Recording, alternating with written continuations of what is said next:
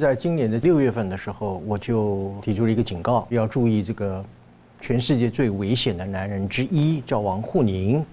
他在海峡论坛提出了要推动所谓的两岸融合发展示范区的这个概念。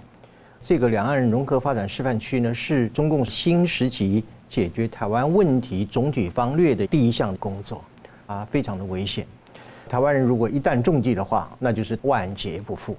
这个所谓的下金融合区，还有一些副版本叫做金门和平实验区，或者是同城生活圈，甚至什么半日来回生活圈等等的啊。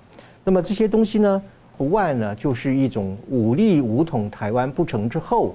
用一种亲情的绑架和一种情感的要挟，欺骗台湾、蒙蔽台湾，那么进而用这种蚕食蔓延的方式来并吞台湾。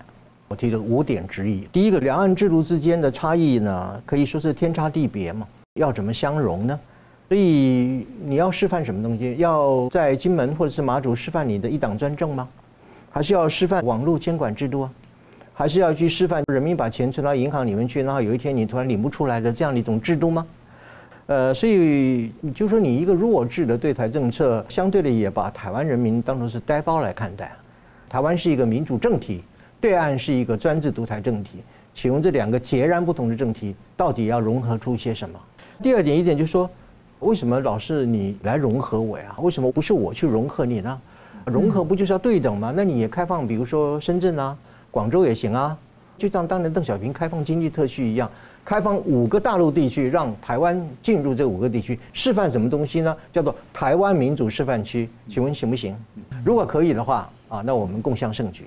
第三点，如果你真的是说要两岸一家亲啊，要融合的话，那么你每天在我们天上绕来绕去那个飞机，每天这样子威胁我们，请问你有什么资格？你有什么立场说你要跟台湾人搏干净吗？就是非常的虚假，坦白讲，用一句话来了结，就是说非常的不要脸。第四点，欢迎台湾同胞到大陆去居住，还买房子，还自产啊等等的。各位觉得大陆的居住环境会比台湾好吗？中国五大湖泊全部都严重的污染，严重的不能生饮啊，饮水连煮开了都不能够饮水。在这种情况之下，你叫台湾人去喝什么水呢？第五个就是到大陆去自产买房子，去买什么呢？买烂尾楼吗？我买了房子之后，你的这个地产商交不出房子，那么结果我们怎么样？买了之后第二天房价就下跌还是上涨呢？所以这个你要说清楚。